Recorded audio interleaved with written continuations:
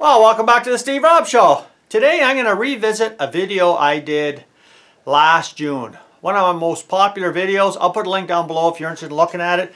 I haven't even looked at it in a long time. It's probably like well over a million views by now. But it was testing inverters. And I, thought it was quite an interesting experiment. And I got a couple of really decent questions out of that. And one of them was, Steve, are these ports upside down? Guys, to me, they look upside down. I wire anything like this, a receptacle. I put the grounds on the bottom, and they got them upside down. It doesn't really make a difference. Um, they're all made with a small slot and a big slot, and uh, you know, that's your uh, power and your uh, neutral. So, yeah, so it, they're made safe. As far as I'm concerned, they are. But the main question I want to answer today was, I did some testing and I used, uh, I'll show you this right here. I used this heat gun and uh, there it is there. So we got 230 watts max and 150 watts minimum. So it would run, this 300 watt inverter would run on the 150. The first click, it would run. I go on the second click and it would trip the breaker and it would uh, not work. So the idea was is it possible to do this? I'll show you. Can you join these two together in say one outlet and get the full capacity out of your inverter? And I'm saying no, you can't do that. You can't do that. And I can explain why and I got a little bit of a setup done here where uh, I'm going to show why you can't do that. Now, this is a 300 watt inverter. Uh, the maximum it will peak out at is 600. Now that's between both the outlets separately. So theoretically, one outlet is 150 and it'll have a max of 300. Now it also depends on how long it's willing to peak. So if one side can only take 150 watts, how long will it peak at 300 before it trips the breaker? And that's generally something you're going to have to experiment with. I really don't see too many statistics on uh, showing the specs on how long before it'll trip. But as you can see in the last video I did, as soon as I pulled the trigger to the second stage, yeah, it just, it, it shut it right down.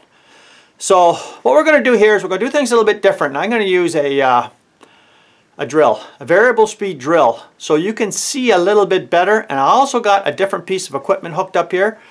I have a, uh, a watt meter. So you're going to be able to see the wattage as this happens and you'll see the effect of why you cannot join the two ports together to get the maximum rating out of an inverter or whether it's got three or four or five, what, how many ports, doesn't really matter. I have never seen one so far. You guys can correct me if I'm wrong, but I've never seen an inverter that had multiple ports that you could get all the wattage out of one port. Now I haven't seen it yet. If they do, I'd be love to see which one that is. So I got it all set up here. I'm going to try to get you all zoomed in to get everything in the shot and we'll do a little bit more testing. Okay, so the inverter's turned on, you can hear it. And I have the variable speed drill here. And I'll just show you here just for reference and let's see if that'll zoom in there but that's uh, that's 4.5 amps which is too much for this but it's a variable speed drill. And uh, we're gonna see what happens. So I'm just gonna pull the trigger and I'll just do it again for you. See it wouldn't start right? But we'll slowly pull the trigger and see if it runs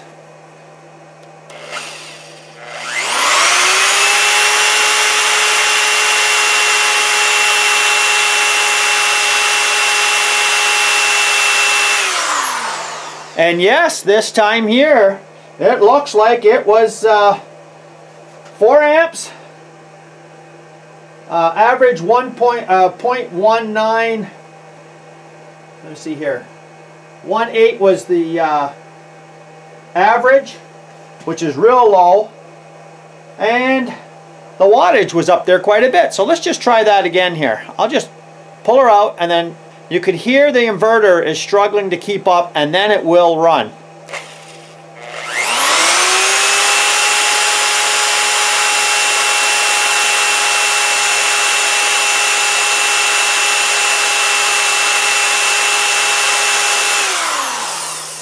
So it is about 200 watts and that's more than the maximum but you could see that what's happening there is it's only going to allow that for a certain amount of time and then it's going to shut it off. It'll overheat it for sure.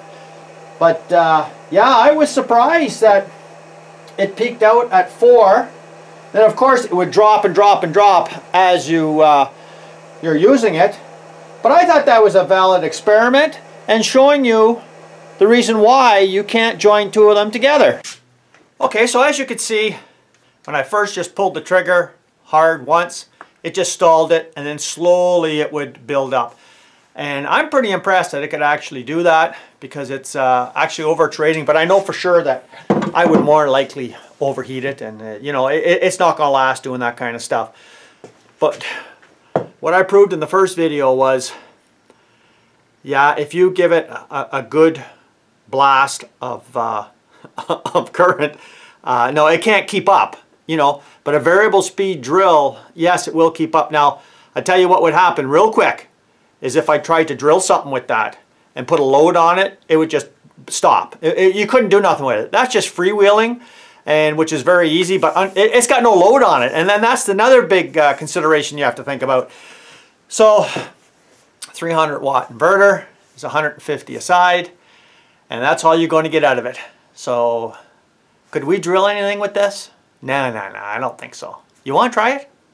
Let's try it. Let's, let's see if we could drill something with this the way it is. Okay, here's the drill. I got it plugged in just like it was before. And uh, I'm going to show you. oh, this is going to be completely useless. Let's just take a look. So again, I'll do the same thing.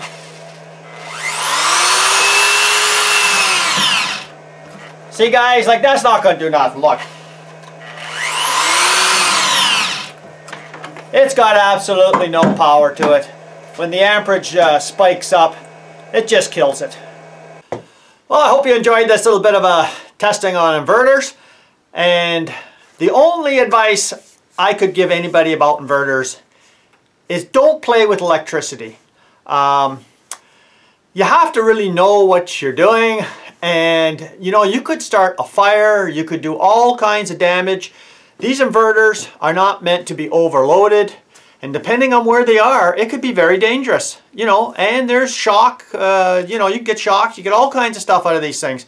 So you got to be very careful but the one thing I would stress the most is in my experience I always get twice as big of an inverter that I'm going to need for the wattage.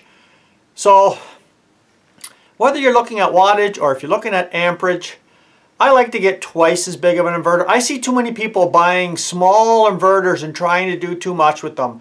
I had a buddy buy uh, one of these kind of inverters, like a 600 watt, and he wanted to plug it into his cigarette lighter in his car. And I told him, I said, no, no, it doesn't work like that. I mean, you're not going to get anything out of that inverter. You might get, you know, like a couple of hundred watts out of it or something like that at the most, but you're not going to get 600 watts. You have to actually attach it to a battery. So there's a lot of things with inverters you have to be careful about and read the instructions. Now, there's one thing I'll tell you about the instructions on these here. They're not very good. So, I mean, there's lots of uh, videos out there, of people that will explain to you exactly about inverters and how they should run. But I thought that was a legitimate question to ask. Can you join the two ports together, or three, or four, whatever it is, and get the full capacity out of your inverter. And no, you can't. Um, as the amperage crease, creeps up, you're going to trip either one side or the other side or one of them. Each port can only take a maximum of so many watts and it will just shut it down. So they do make inverters that on the far side of the inverter away from the receptacles is a block and you can get maximum out of that block for the whole inverter and uh, that's you know a more expensive inverter to buy so I hope you enjoyed this little bit of an experiment today and uh, talking about inverters so thanks for joining me here today if you've never seen this channel before you're welcome to subscribe let's come back let's have some more fun. Cheers, guys.